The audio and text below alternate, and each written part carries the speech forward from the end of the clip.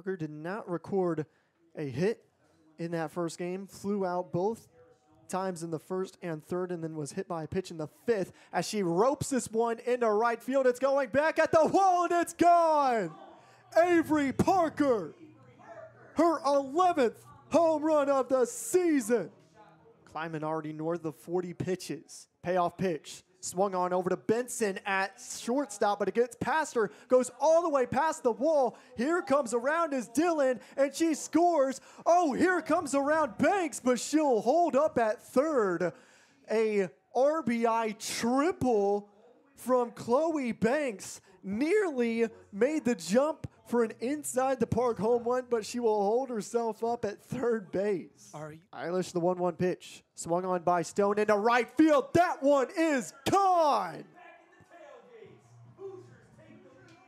Sarah Stone gives Indiana the lead, the two run home run. And that really hurts for the Boilermakers. Meeks was hitting 343. Ross now up to bat at 189, but ropes this one left field, and it's off the wall. Two run score, and she'll go all the way to second in time.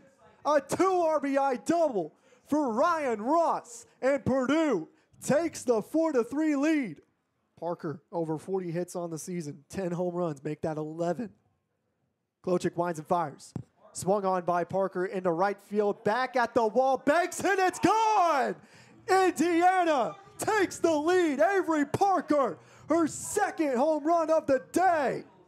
One away. Runner stands over on second and Tarina Jones. Indiana up five to four.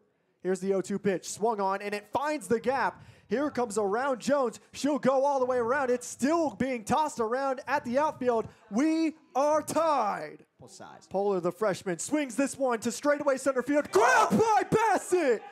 Oh my goodness.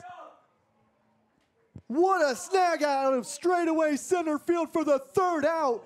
Strands two runner. Dylan scored in the third, had the single, and then grounded out to first in her last appearance in the fourth. Here's the 0 1 pitch. Low and away. It gets away from Parker.